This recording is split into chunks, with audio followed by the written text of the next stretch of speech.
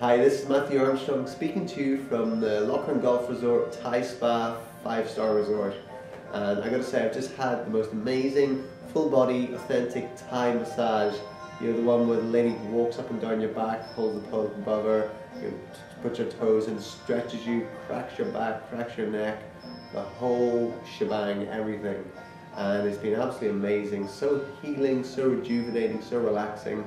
Um, came out of it just so much more clarity and a feeling of amazing well-being.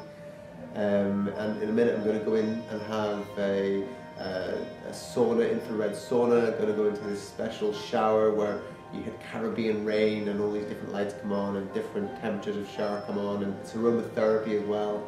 Um, so it's very, very luxury here and it's something that really, really rejuvenates you. You can hear the relaxing music here. They give you some nice herbal or green tea, some fruit to eat.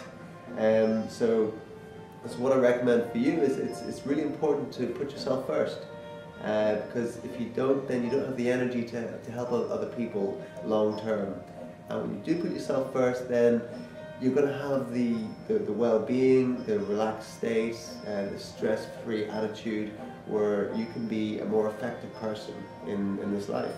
So if you do nothing else this year, make sure you put yourself first. Uh, put, put aside some money, get yourself a nice deep tissue massage every few months. I can't recommend enough the Thai massage. To me, it's, I think it's the best. And uh, go, go and do that. Make it a must. Uh, you'll thank yourself for it. Your body will thank you for it. Your mind will thank you for it.